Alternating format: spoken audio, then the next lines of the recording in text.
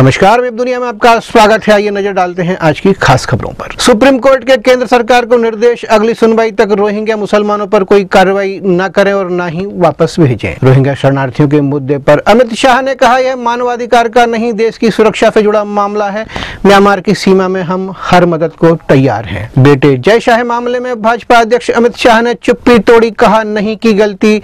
जाँच की मांग कर रहे लोग अदालत के सामने रखे साक्ष। योगी आदित्यनाथ ने कहा, कांग्रेस और राहुल गांधी विनाश के दूत, गुजरात में करो सफाया, यूपी में लागू होगा गुजरात मॉडल। सुप्रीम कोर्ट ने सबरीमाला में महिलाओं के प्रवेश का मामला संवैधानिक पीठ को सौंपा। वैश्विक भूख सूचकांक में भारत पिछले साल की तुलना में तीन पायदान फिसला।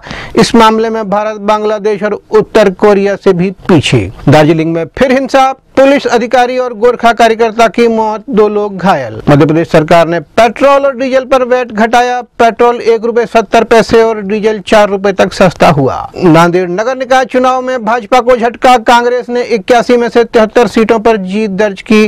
पूर्व मुख्यमंत्री अशोक चौहान का गढ़ है नांदेड़। अमेरिका ने यूनेस्को की सदस्यता छोड़ी, संयुक्त राष्ट्र की दूसरी एजेंसियों को भी दी चेतावनी। सीरिया के उत्तर पूर्व प्रांत हासाकेह में विस्थापित सीरियाई लोगों पर इस्लामिक स्टेट का हमला 18 लोगों की मौत, वियतनाम में बाढ़ से तबाही, मृतक संख्या बढ़कर चौपन हुई।